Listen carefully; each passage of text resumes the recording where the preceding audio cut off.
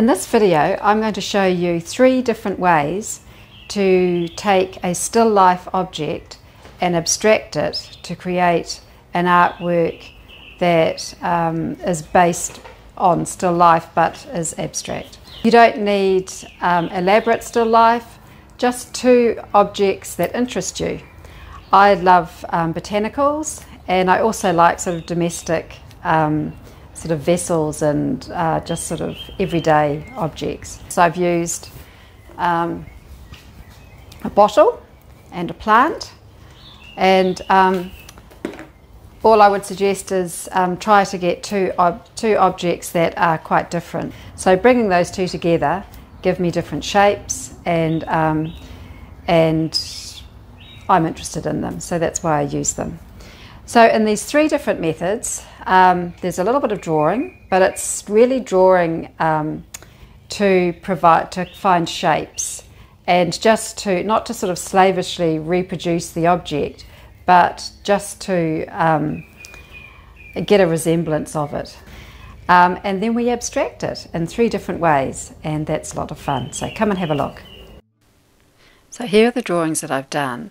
And as you can see, um, they're a plant and a bottle.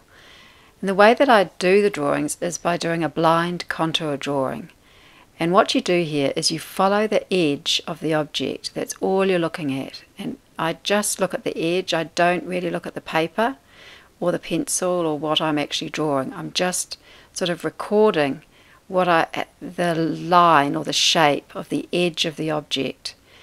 Um, and it doesn't have to be exact. And of course, I do come back and look at the paper at times just to make sure that my pencil is going back to the right place. But that's the way that I do a blind contour drawing, so that you're sort of recording, you're recording the object, but it's not exactly as the object is, but it looks very much like it.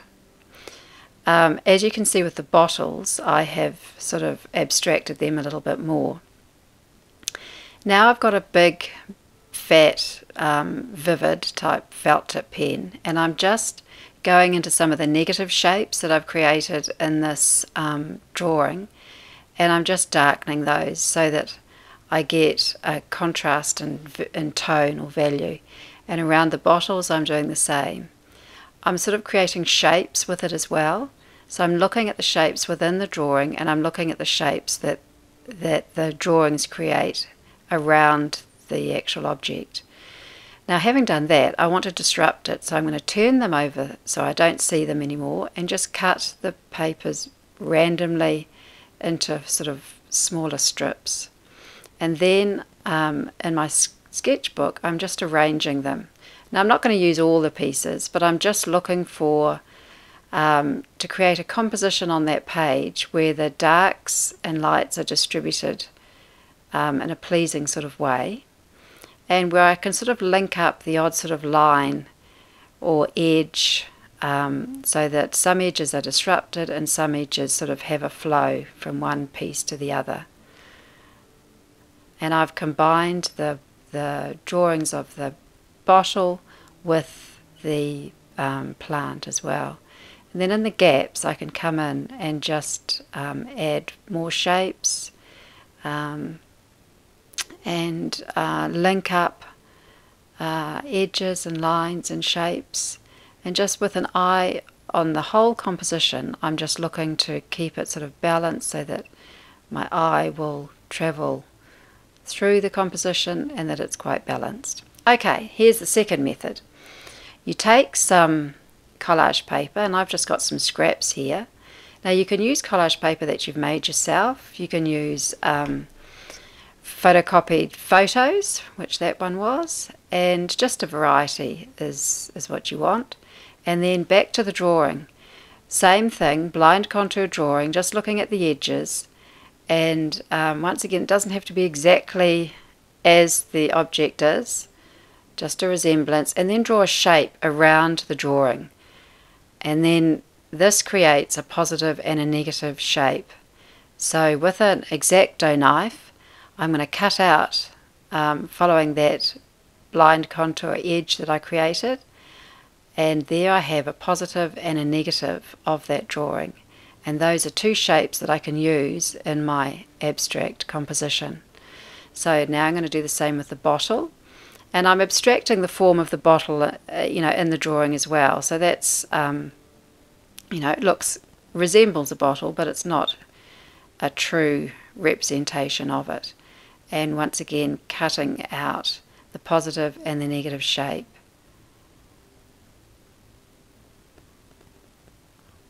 Okay, and the same on, I think I used three different um, collage papers there.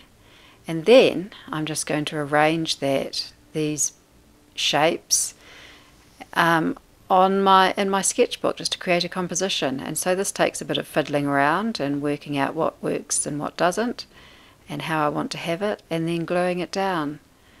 And um, then once it's glued down, what you could do is you could draw from that composition um, but it's just an interesting starting point to start with the still life and then abstract it into shapes and lines. And uh, so here I am using the shapes to create drawn shapes that are sort of linking and filling in gaps in this composition. So those are the first two methods, and you can see that they use the same objects um, in two different ways but they are both sort of abstracted, and that could be the beginning of a painting or, um, you know, a development of ideas around that. So here's the third one.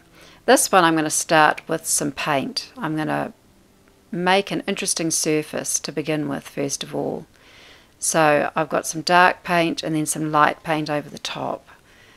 And then when that's dry, I'm going to do the blind contour drawing using a coloured pencil and now I can come in with those the other um, the other drawings that I've made in those previous exercises and I can stick those down because I've got darks and lights I'm sticking to the same sort of colour so that they're going to integrate nicely into that paint that I had already put down.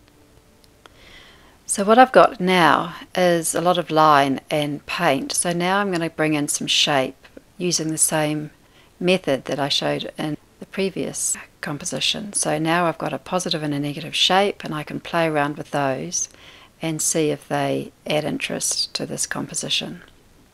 But I'm trying to create uh, interesting effects with that paint and then bringing in some representational sort of drawing very loosely, a little bit like blind contour drawing, but with a paintbrush, a very fine paintbrush and a little bit of paint, just bringing those shapes and drawings in over the top of the um, paintwork that it's gone in underneath.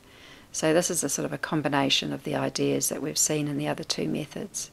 So I'm looking for where I've got dark areas and then I can put white paint over the top and where I've got light areas and I can draw with a dark um, paint over the top of that. And that's the third method. So there's three ways that you can take still life and create a really interesting artwork um, by abstracting them.